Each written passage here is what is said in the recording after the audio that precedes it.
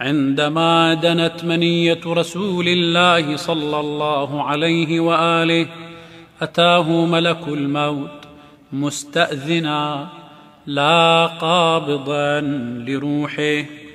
كان بجنبه أمير المؤمنين وفاطمة والحسن والحسين.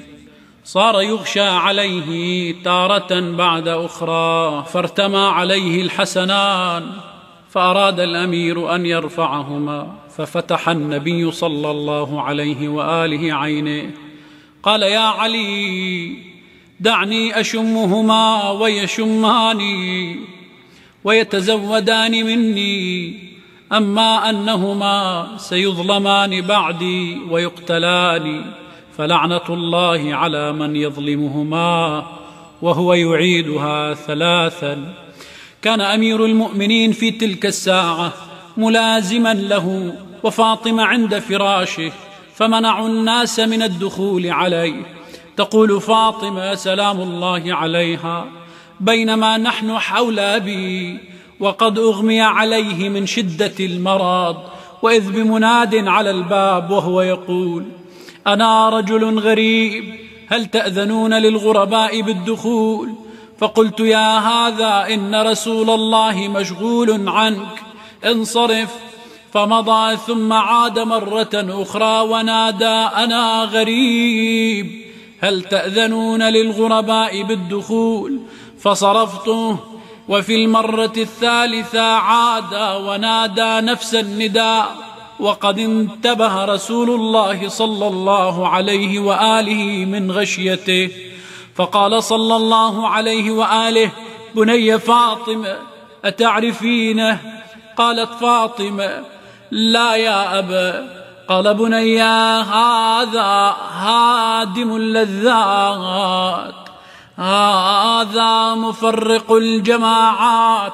ما استأذنا على أحد قبلي ولن يستأذنا على أحد بعدي.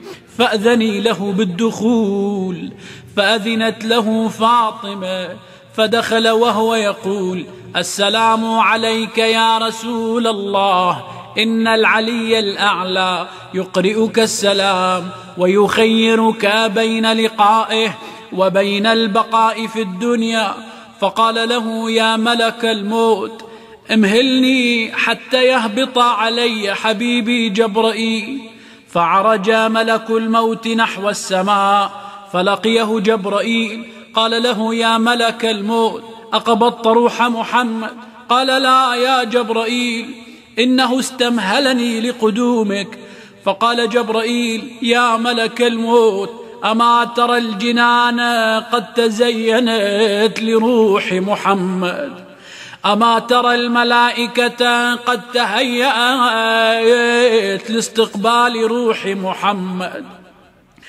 ثم هبط جبرائيل على رسول الله صلى الله عليه وآله وهو يقول يا رسول الله إن العلي الأعلى يقرئك السلام ويقول لك ولسوف يعطيك ربك فترضى فقال له الرسول حبيب جبرائيل لا تفارقني حتى يأتي أمر ربي وكان جبرائيل عن يمينه وميكائيل عن شماله ورأسه في حجر أمير المؤمنين وملك الموت قابض لروحه المقدسة.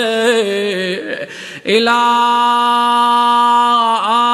أن أفاضت روحه الطاهرة أيها محمدا ويد علي تحت حنكه الشريف فمسح بها علي وجهه وقام إلى الناس فتح الباب وهو يبكي ويقول ايها الناس عظم الله اجوركم بنبيكم فلقد قبضه الله اليه فضج الناس بالبكاء والنحيب وصرخت فاطمه وابتاه ومحمدا